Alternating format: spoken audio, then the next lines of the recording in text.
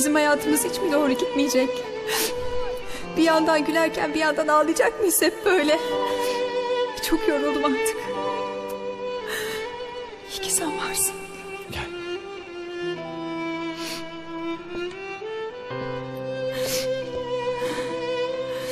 Orası pis. Olsun. Boş ver.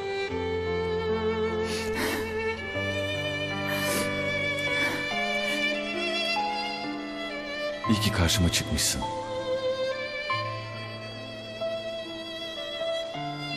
İyi ki seni bulmuşum.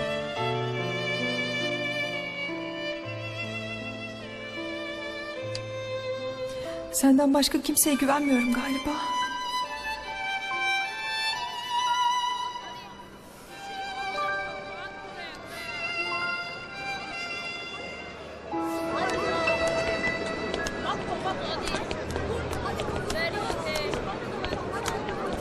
Engin bu arabanın sahibi nerede? İçeri girdi abi.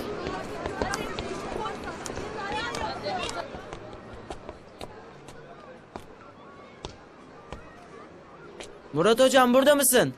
Kadir sen misin? Benim. Ne yapıyorsun hocam sen burada?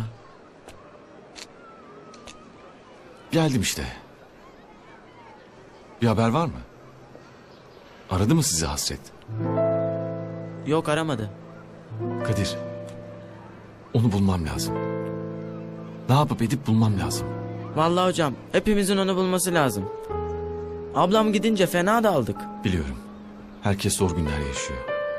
Ama yakında bitecek bunlar.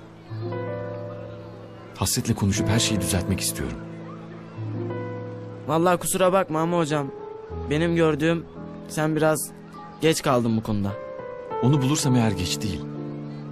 Hasret beni dinler, anlar. Neden sustuğumu, neden konuşamadığını söylerim ona.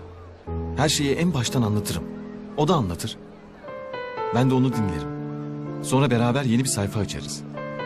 Yeni bir besteye başlar gibi başlarız her şeye. Ama her şeyden önce onu bulmam lazım. Gidiyorum ben.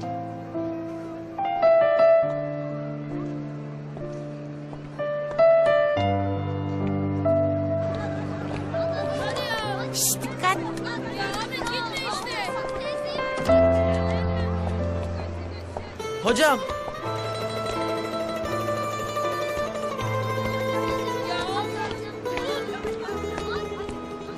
Ablamı seviyorsun sen değil mi?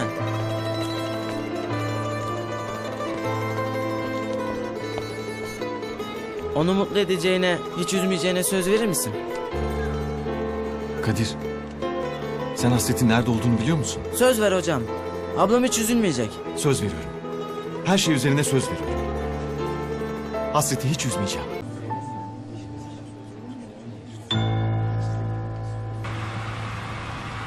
Ceren, hasreti buldum yanına gidiyorum. Ciddi misin? Harika. Neredeymiş? Her şeyi dönünce anlatırım. Şimdi acelem var. Tamam tamam bekliyorum haberleri. Bu arada ona her şeyi söyleyeceğim. Hiçbir şey umurumda değil artık. Gözümü karartıp onu nasıl sevdiğimi artık söylemek istiyorum. Bağıra çağıra anlatacağım aşkı. Şimdi kendine geldin işte. Oh be. Bekliyorum haberlerini. Merhaba. Merhaba. Hasret ne mutlunun oda numarasını öğrenebilir miyim? Tabii bir saniye. Hasret Hanım çıkış yapmış efendim. Burada değil mi yani? Maalesef.